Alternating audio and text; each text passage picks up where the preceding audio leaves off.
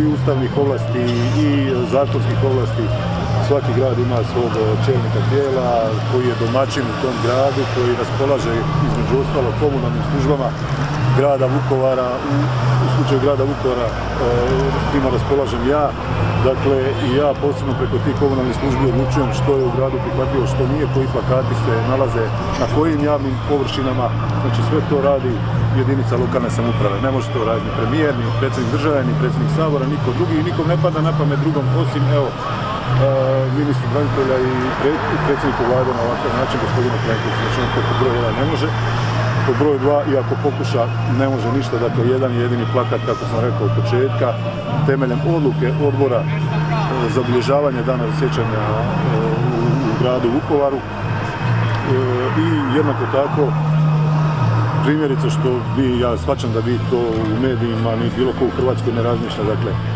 svaka bina, svaki ugovor sa izvođačem, svaka hotelska soba, sve te ugovore potpisujem ja kao gradonačelnik, odnosno grad Vukovar ne radi nikakav ministar, nikakvo vijeće, nikakav premijer. Svako okupljanje, pa tako i ovogodišnje, prijavu skupa policiji potpisujem ja kao gradonačelnik. Dakle, ja sam odgovoran za sve što se dogodi u toj koloni, odnosno po mom nalogu eventualno neke godine potpisao neko drugi ispred grada Vukovara kao organizator cjelokupnog događaja naveden grad Vukovar. I onda vi imate, nažalost, premijera države koji nađe zavaravati javnost sa nekakvim pričama o nekakvim drugim plakatima, o nekakvim organizacijama, govoriti da eto sad to nešto ne može. Pa evo, sve ove dane smo slušali kako nešto ne može, ja sam u miru, nakon što sam imao prvu tiskovnu, čekao da vidim kako to ne može. I sad ćemo vam lijepo pokazati, demonstrirati kao i svake godine da je ta kolona pripada Vukovaru, ta je priča po 25. godinu takva.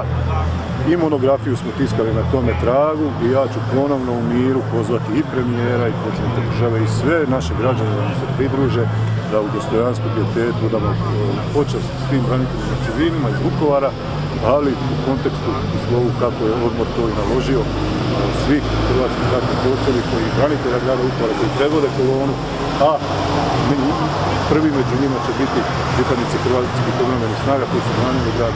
To je cijela priča, nikakve druge priče tu nije bilo, ali neki su se tu osjećali prozvanima, ali to, je, kako sam rekao, na prvoj tiskani. Više govori o njima i o njihovom svjetonazoru i ambijentu nego o bilo čem drugom.